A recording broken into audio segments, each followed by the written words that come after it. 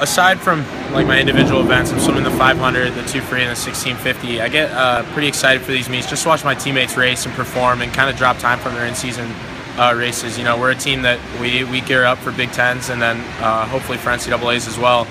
Uh, so it's really exciting to just watch my teammates race and reach towards their goals.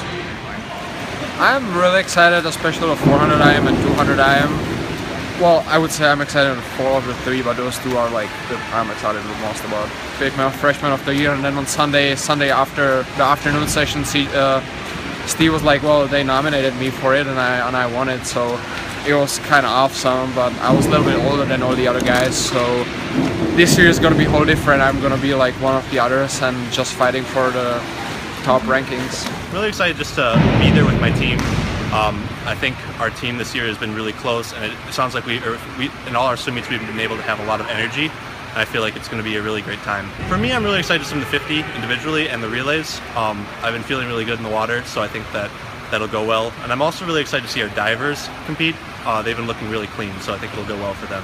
Um, all the boys in three meter and one meter and platform all looking great. Um, we're looking really, really good. I think we've had probably one of the strongest teams in a few years here at Minnesota. Um, and yeah, everyone's feeling confident, looking good, and you know, kind of having that team feel, I suppose, is, is probably what I'm most looking forward to. Yeah. Uh, for myself, I'm definitely most excited about the 100 free, um, just because I really, really want to go under 43 um, and make NCAA's in that event. And for the team, um, I don't know, just the relays. I'm really excited to see what we can do with the relays.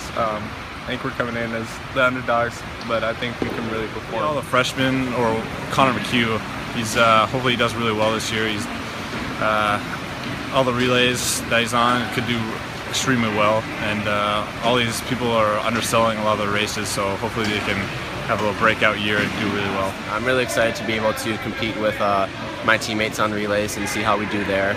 Um, but I'm also excited to really try to shine um, for the team in the individual races as well.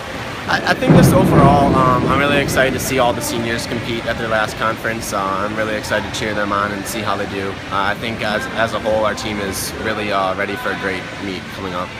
You know, just having a good time. I think the most important thing is just going into the championship season is just staying positive and having a lot of fun. Um, people get too caught up in things they can't control and uh, I think the most important thing for us is just worrying about Minnesota and uh, having a having a blast at Big Tens and NCAA's.